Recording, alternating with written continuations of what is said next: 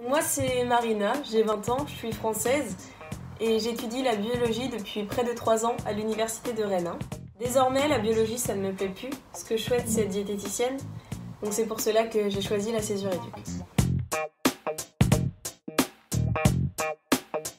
Si vous partez un semestre ou une année complète dans une université partenaire de votre université initiale en Europe pour étudier un domaine d'études différent de votre domaine initial, Moi, j'ai choisi de partir un semestre en Hongrie, étudier la diététique. Donc tout d'abord pour avoir des premières connaissances dans le domaine, mais aussi pour m'améliorer en anglais et découvrir une nouvelle culture et un nouveau pays. Donc ça ne peut être qu'enrichissant.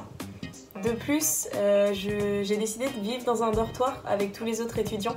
Donc c'est encore une fois enrichissant parce que ça nous permet de parler anglais, de découvrir de nouvelles cultures également.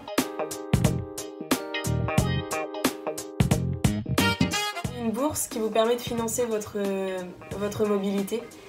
Donc je conseille vraiment cette, cette césure à tous les étudiants qui souhaitent se réorienter.